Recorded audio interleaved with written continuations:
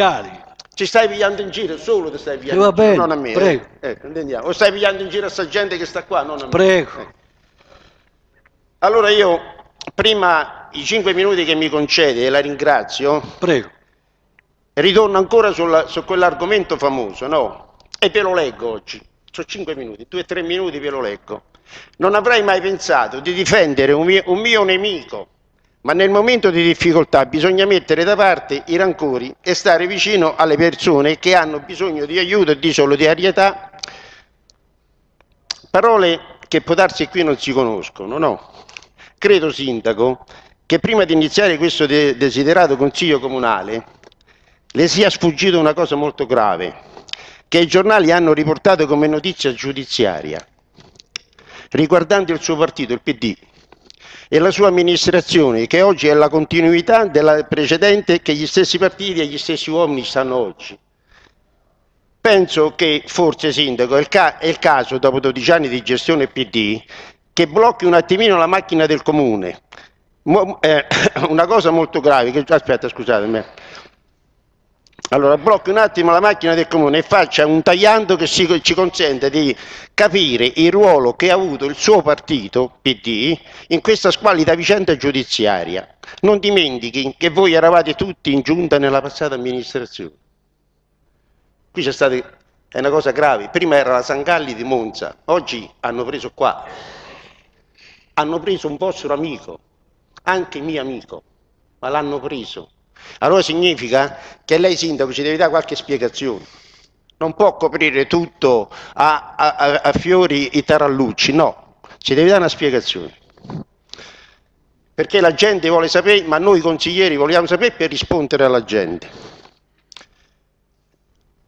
Questi fatti di mala gestione del comune di Ferentino potrebbero essere considerati come la voce di colui che grida nel deserto.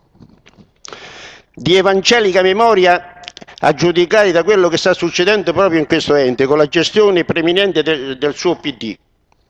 Rimanendo nell'ambito evangelico, sindaco, alcuni di questi personaggi che ancora oggi siedono in quest'aula sono diventati tutti come San Pietro, quando il Cristo gli anticipò che nella, sua- nella stessa notte lo avrebbero rinnegato tre volte.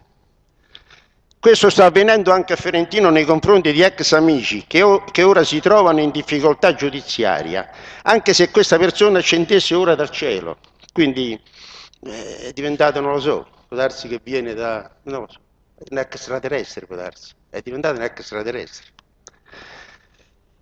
Oggi tutti rinnegano tutti. Chi è? Che cosa ha fatto? Chi lo conosce? Io non ci ho mai parlato, forse è straniero. Signori, quella persona è amica vostra, da circa 40 anni, e ha amministrato insieme a voi circa 20 anni con più sindaci nello stesso partito, ora PD. Sindaco, come strana la vita fino a ieri, avete deciso insieme le sorti di questo paese. Ora fate finta di non conoscerlo a causa di accertamenti della magistratura. Voi assessori, sindaci, capigruppo e consiglieri attuali del PD, forse dimenticate che questa persona vi ha fatto vincere le elezioni comunali. Allora era amico di lista, di partito, di persona, vi ha sempre programmato la vita amministrativa, feste, ricevimenti, donazioni personali ed altro. E è grave dirlo, però è la verità, perché lo sanno tutti, non è che lo, lo sa Gianni Bernardino. Alcuni di voi hanno dimenticato quando veniva sfruttato per realizzare le costruzioni di alloggi. Dimenticate che la gestione del cimitero gli è stata affidata da voi, anche per accontentare qualche grande elettore sempre tesserato PD. Dimenticato che era lui, dimenticate che era lui ad organizzare cene, cenette, riunioni e assemblee per voi tutti. Allora era un grande amico e un grande elettore del PD. Ora mi dispiace dirlo, è come il ladrone sopra la croce che prima di morire si confessò al Cristo e rivelò tutti i suoi peccati e i suoi, e i suoi complici. Mi auguro, come ha promesso di imitare il ladrone, questo succeda fra poco.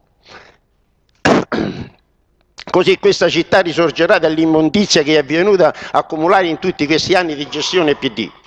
Infine dimenticate che questa persona è la stessa che vi siete portati a Parma per iniziare quel fall- fallimentare della STU. Dimenticate che questa persona è stata un artefice insieme a voi assessori per la concessione delle farmacie comunali. Dimenticate che tutti i rapporti esterni del comune li effettuava questa persona a nome vostro.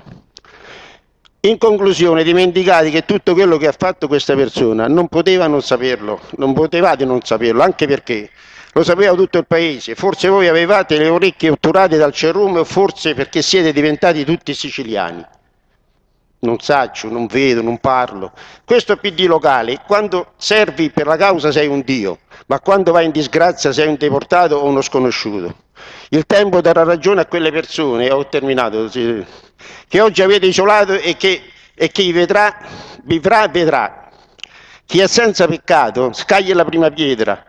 E ho chiuso e ti ringrazio Presidente, perché era mio dovere dirlo, perché purtroppo quando ci stanno gli scandali non se ne parla dentro questo Paese, dentro questa amministrazione. Grazie